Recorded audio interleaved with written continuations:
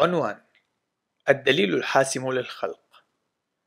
عنوان فرعي حسم الجدل القائم حول الأصول. كتاب للدكتور جيسون لايل. الفصل الثالث عنوان فرعي التطور الربوبي عاجز عن إنقاذ الموقف. البعض من التطوريين قد يجادلون بأنهم يستطيعون أن يقوموا بتبرير الانتظام بطريقة مشابهة لما يقوم به الخلقيون وذلك بالاستناد إلى الله الذي يدير الكون بطريقة شبه قانونية. فليس جميع التطوريين ملحدين إنما العديد منهم يؤمن بأن نوعا من الآلهة قد استخدم التطور ليقوم بتشكيل جميع أنواع الكائنات الحية وهذا ما ندعوه بالتطور الربوبي. لكن إضافة إله ما إلى التطور لن يقوم بتقديم حل للمعضلة.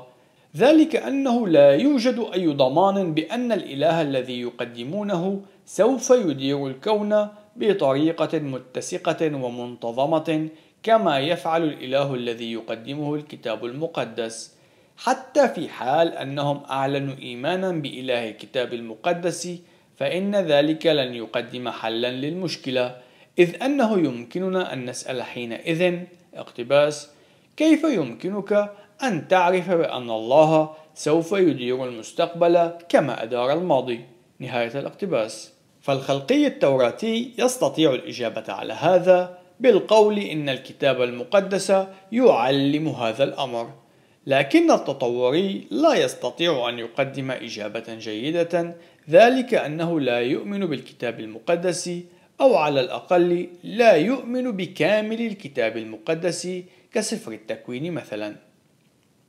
حتى نكون واضحين قد يمتلك التطوري الربوبي إيمانا قويا بأن الله أو إله من نوع ما سوف يقوم بإدارة المستقبل كما أدار الماضي وبالتالي فإن قوانين الطبيعة سوف لن تتغير مع تغير الوقت.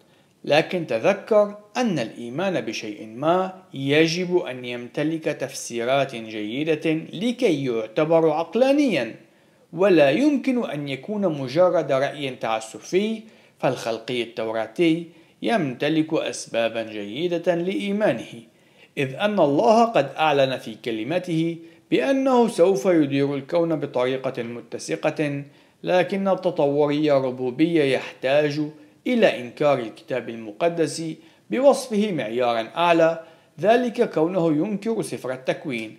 لذلك السبب فهو لا يستطيع أن يقوم بالاستناد إلى الكتاب المقدس على أساس أنه يقدم قاعدة لمعرفته عن الإله. في محاولة أخيرة قد يحاول الخلقي التطوري أن يقول اقتباس لكني أقبل معظم الكتاب المقدس أنا ببساطة أرفض فقط القراءة الحرفية لسفر التكوين وبالتالي فأنا أؤمن بالانتظام وذلك اعتمادا على تعليم الكتاب المقدس نهاية الاقتباس. لكن هذا رد فاشل لسببين. أولا إن الكتاب المقدس الذي يعلم عن الانتظام يعلم أيضا أن الله قد خلق الكون في ستة أيام. ثانيا إن أساسات الانتظام تترسخ في سفر التكوين مثل التكوين 822 وهي التي يرفضها التطوري. دون الكتاب المقدس سيفقد الأساس العقلاني للانتظام فالتطور الربوبي لا يمتلك سببا جيدا للإيمان بالانتظام وبالتالي فهو لا يمتلك الأساسات التي تبنى عليها العلوم. إن الانتظام لا يتطلب فقط وجود إله من نوع ما إنما يحتاج وجود الإله الذي يقدمه الكتاب المقدس والذي أعلن عن ذاته فوحده الإله الذي هو خارج حدود الزمن والمتسق والوفي وكلي القدرة وكلي الوجود والذي أعلن عن ذاته للجنس البشري هو وحده قادر على أن يؤمن وجود الانتظام في الزمان والمكان.